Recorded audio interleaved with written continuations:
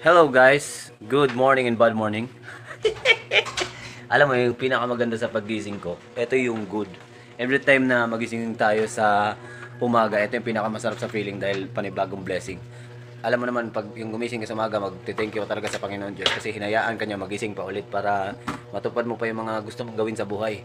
Yung bad naman sa morning ko, kasi para sa akin talaga, sa totoo lang, mahirap pala talaga mabuhay ng walang ina, walang walang walang kung wala kang asawa ba or partner sa buhay. Kasi alam mo bakit?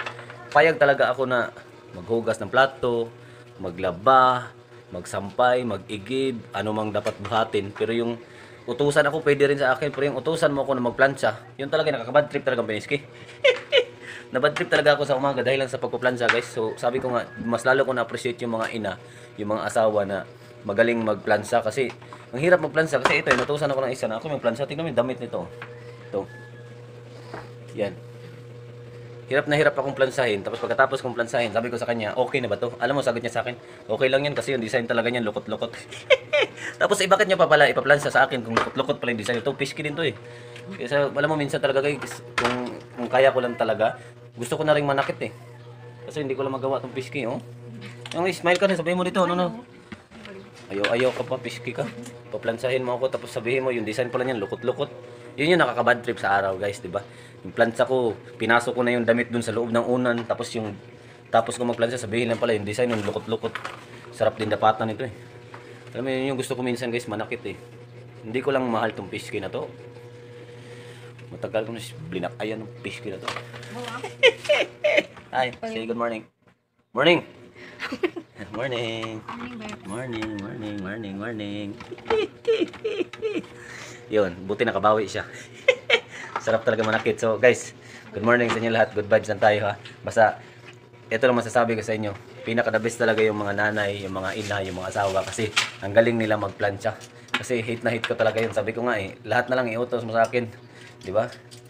Pero yung pagmamahal, hindi niya na kailangan iutos yun kasi yun ang ginagawa ko simula pa lang. Ah, mm, kamay ba yung kuringuton? Unsa? Alam mo yung sobrang nakakabad trip ba? Nag-iingat ka sa daan, nagdadasal ka bago umalis. Biglang nagbaba yung nagbaba yung jeep ng pasahero. Nagbaba yung jeep ng pasahero tapos alam mo ba ang nangyari? Yung pasaherong bumaba, nakatingala siya. Anong nangyari? Ako yung binanggaan niya na piniski. Kaya minsan nakaka-aksidente yung tao dahil sa mga katarantaduhan din ng mga tumatawid. Eh. Tapos sisisihin tayong may mga lisensya. Ay, piniski talaga. Siyempre ako guys, bilang isang driver, naging maingat din ako kasi ilang beses ako na-aksidente na. Tapos dahan-dahan na yung pagpapatakbo ko ngayon kasi nga buntis si Mrs. di ba?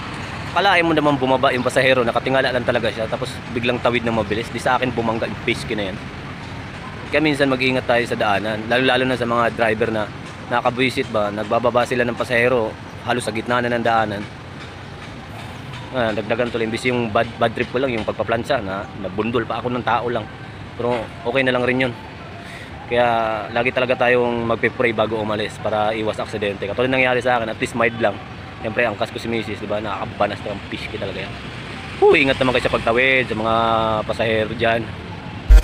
Wanna be tulis ne, tulis ne.